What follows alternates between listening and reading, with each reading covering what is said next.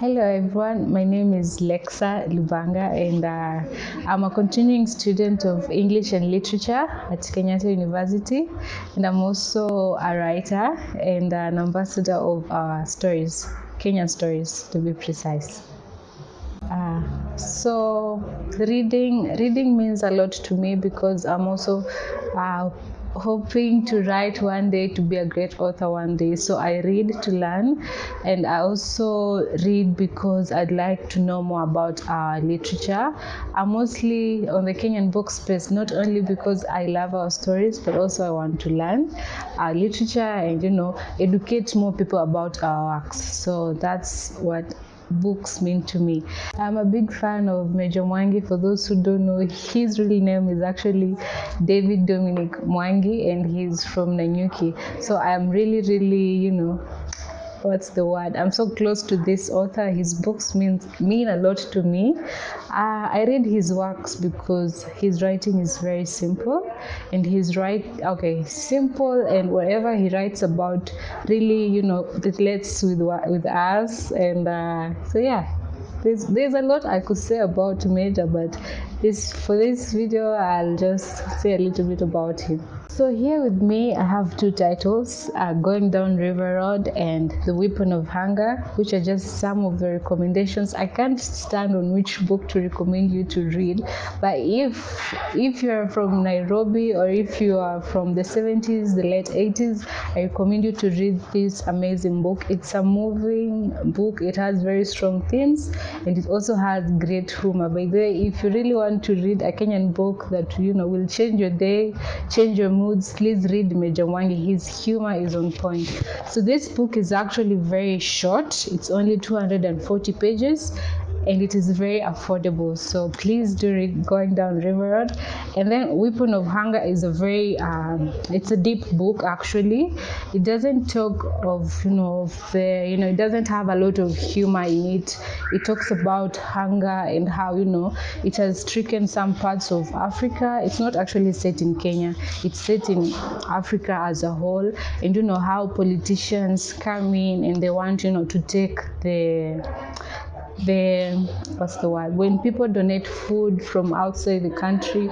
So our politicians are very cruel on the resources the foods and there are also hostile communities wanting to grab all the you know resources that have been donated to the dying people the hungry children you know the hunger stricken places. So this is a very deep book that i really recommend people to read it because very few people are talking about it which is not okay. I want everyone you know to read this book and as as usual Meja's books are not more than 700 shillings. So yeah. So apart from these two books there is also the return of shaka which is also a book not so many people know about it but it's a very it's a very very good book. Other than Meja Mwangi there are some also great female authors. Mm sorry, which I would really wish even the government to name a road after our female authors. So our pioneers, there's uh, Grace Ogot and Charity Waciuma, which were the first female Kenyan authors to be published in English. And as, apart from, you know, apart from writing, these authors were doing some different works. Like Grace Ogot was a nurse and I feel like uh, they're not given much attention that they should. They should, of course, they you know they paved way for our female authors. So that's from the 60s. Now from the 60s, 70s came in other authors, 80s and 90s, and I just feel there's some many great, great female authors that people ought to read. Yeah. Kenya is a story itself, and I like being part of these stories. I like learning about them, and I like interacting about them. And I give a very big thank you for our authors for documenting all these stories for us because writing really is not a it's not an easy job to do. So a very big thank you to our authors. So these stories really mean a lot to me. Uh, that's why I initiated the Kenyan Readathon last year in 2020. So the idea came about out when my friend Soila Kenya uh, hosted the Afro Fantasy Lit Readathon in July 2020. And then we all got to read uh, African stories, science fiction stories written by African authors. So after that, I saw best like, why not create a month long readathon dedicated to only reading Kenyan works? Because at that time, there was no in- initiative of that sort. So on onset, the September, you know, it was more of like reading and sharing. So you read as much as you can and you share using the hashtag Kenyan Readathon on all the social media platforms. So I created the Twitter handle uh, at Kenyan Readathon, and then on Instagram, I was just using my personal account, Lexa Wendy, to share it because you know I didn't know it will it will be a big a big hit. So the first week of it was so overwhelming because you know that is when i met new friends both online and offline. That is where i discovered very many authors because i had created a resource document and i kept on you know updating it and all that. So you know uh, people were reading books people were sharing books. I didn't know honestly that was the time i i joined bookstagram because i usually i was usually just sharing books on my instagram but you know i wasn't so much in the bookstagram community specifically the kenyan bookstagram community. So people when the people people knew about it they were all getting into the culture they were all reading and i was so happy that i had inspired people to read our stories. So the first uh, that first edition i was lucky enough to host two kenyan authors and five creatives the spoken word poets. So the first author that i I featured was author Kinyanjui Kombani. He's author he's authored uh, of Pawns and Players, Den of Iniquities, The Last Villains of Molo, um, Finding Columbia, and other children books. So for that short short interview, it was an Instagram live session. We we talked about Den of Iniquities, and then later on, I hosted uh, five five spoken word poets. That was Lexus Mushairi. We were also talking about his crafts and they were also getting to perform small pieces of their works. So Lexus, uh, Mufasa the poet, uh, Revolutionary Spita, Toonhood, Toonhood. I'm confusing their real names and their stage names. Toonhood, Poet Teardrops, and then Norman. Norman. So after that, I hosted one female author. Uh, she's authored The Cages Built, and that's Ida Kemto. She's also authored Sins of My Fathers. She's, she only has two books out.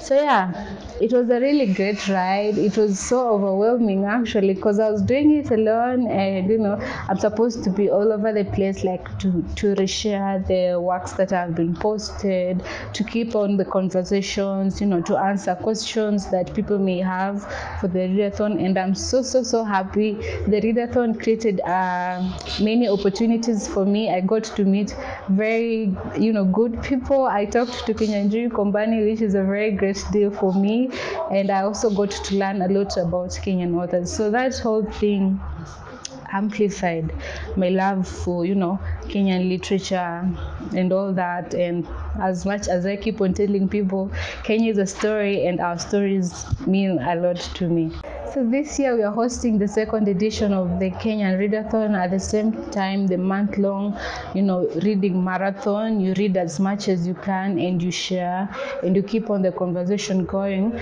about our stories. And the drill is going to be the same. I'm so excited for this year's edition because you know many people are joining in. Those who are not able to you know read last year are reading this year and I'm hoping for more opportunities to come my way, to come to whoever tries to, you know, to join this readathon and read with us. So actually the readathon is not only it's not only confined to Kenyans. Anyone from anywhere can participate. Like last year, I had fr- friends from different uh, African countries joining in and also overseas, which was really, really great. So I also ran an initiative. I co-ran an initiative called Books of Kenya, where it is a space dedicated to books in Kenya. So on this space, we do author interviews and we share our stories. We share events that are happening on the Kenyan book space at all times. So Books of Kenya, I'm running it with Hapa Sawa, and uh, it's an it's an idea that came early this year. So our first interview was was run in February, and that was me. I, I was interviewed as to why you know why I love doing what I do on the Kenyan book space. So this book space is free to any any author. We're doing it to help our authors, you know, get get on the map, get to be known, and you know get people to read their works. So so far we've interviewed a few authors, both female and male, and we've also interviewed uh, booksellers, and we've also interviewed people who are doing uh, great things in the Kenyan book space, and it has been it has been a very great experience. You know, like uh, interacting with these authors, who most of which are self-published and they're not so well known, and they're coming up. And I'm so so happy because we've done uh, female authors who, honestly, some people didn't know about them. We've done like Ida Kemto, we've done Kendi Karimi, and we've done Caroline, Caroline Kinyambaya, who, who's authored uh, Backfin Stock and Other Vices, which is a, a collection of short stories. So this space, it's a safe space for our authors, and we do call outs you know to any author who wants to be interviewed who wants their work to be out there you know just reach us reach us anytime and we'll get back to you you know to share your story. And also we are introducing a new segment on books of kenya where you can post uh, reviews of kenyan works. So if you'd like uh, you know to share a review of any kenyan book that you've read reach reach uh, reach out to us and we'll share uh, your review on our platform. If this like we're just helping each other. It's a win-win situation. Like we help we help the authors and you know we help the authors to get it to be known and it's also a win for us because we get to learn get to learn about your works.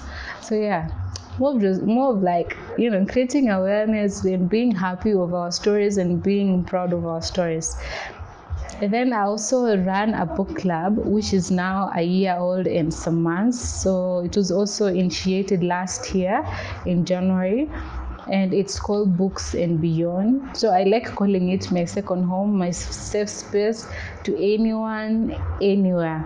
So on this on this platform, we don't have any like you know those strict regulations that you ought to read the book and finish the book, even if the book is bad, you know, and okay, not bad, but even if you don't you know concur with the book as much, you're supposed to finish it, or you're supposed to attend the meeting and all that. No, this is a safe space for people getting into the reading culture to be comfortable with reading if a book you know if the book isn't you know as exciting for you as it is for me. For example if you really don't like going down river road or Meja Mwangi i won't force you into reading it but i'll give you a safe space to explore more.